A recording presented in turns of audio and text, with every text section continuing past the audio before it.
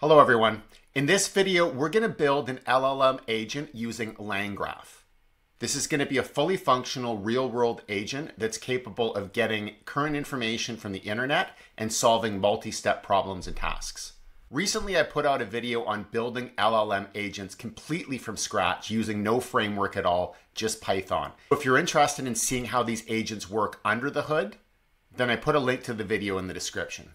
These LLM agents have been exploding in popularity recently, and understanding how they work is a huge advantage, whether or not you're developing them yourself or you're just selecting an agent for your particular use case.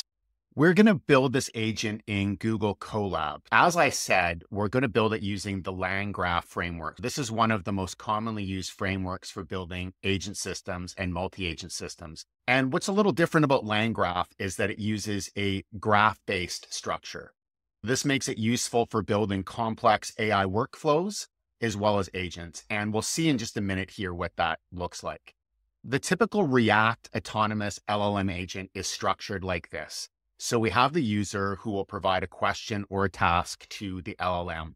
And the LLM is going to look at that request from the user, create a plan, and then go about executing that plan, starting with the first step. And it's going to be able to call on tools which allow it to interact with the environment, which is really the outside world. One of the tools we're going to be using will be internet search. So we'll be able to get real current information from the internet. We could also provide it with other tools to get information from other sources and actually take direct actions in the real world.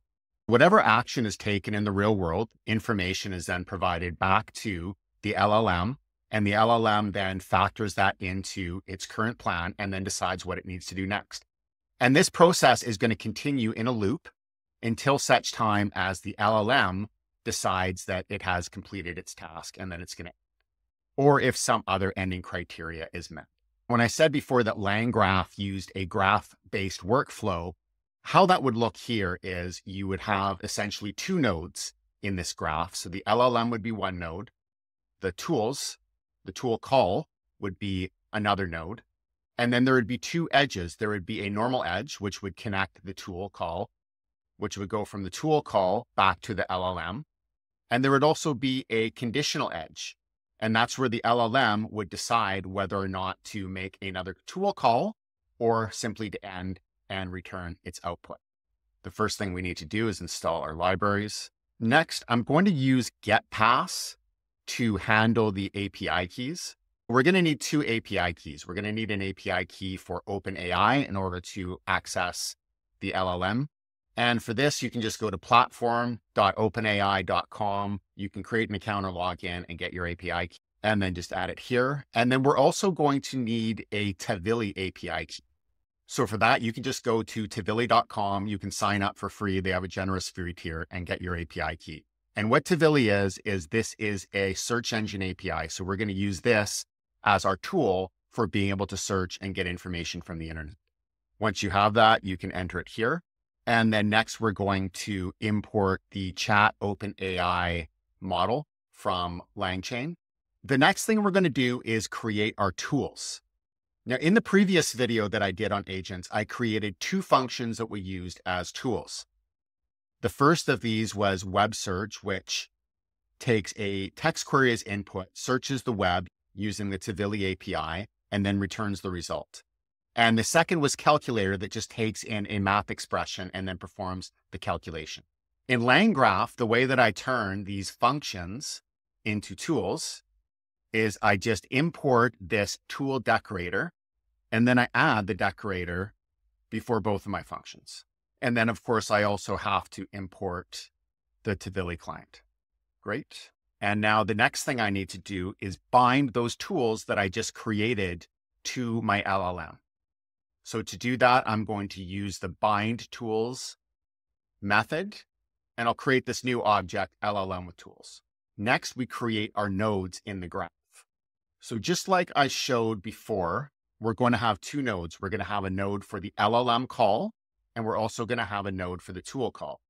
So we can see here that the LLM call node takes in as input messages state.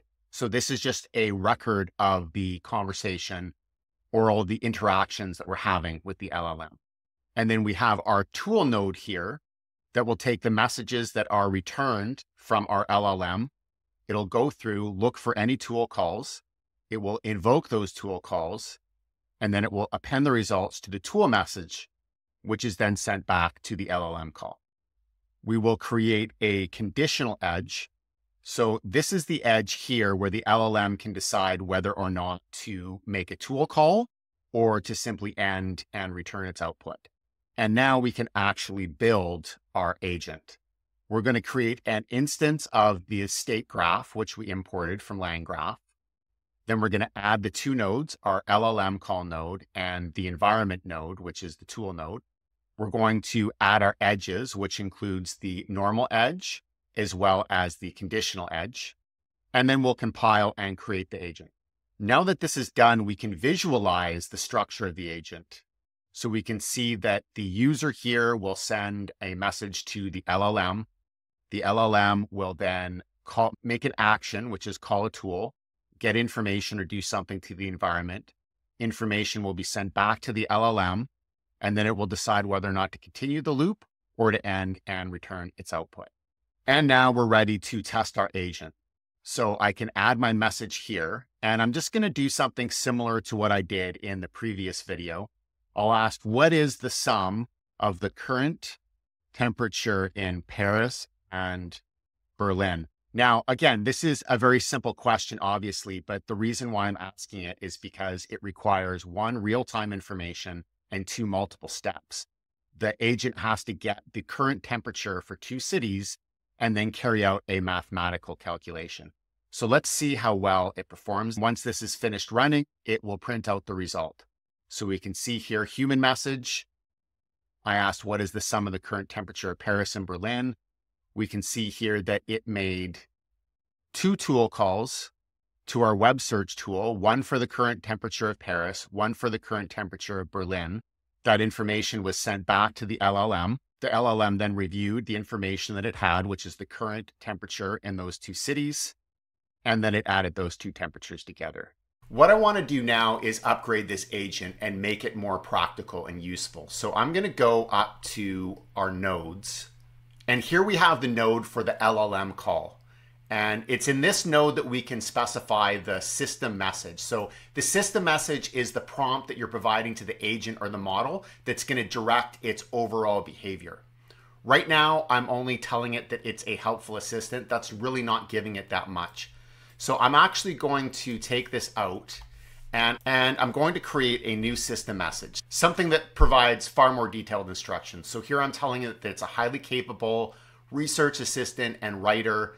And essentially its goal is to take a topic from the user, do some research using its, its web search tool, create a summary, and then review that summary and make improvements to it. This is the original task that I was giving it before. I'm actually going to remove this and I'm going to create a new task that instructs the model to research and summarize the most important US economic indicators released recently within the last two months into a 500 word report.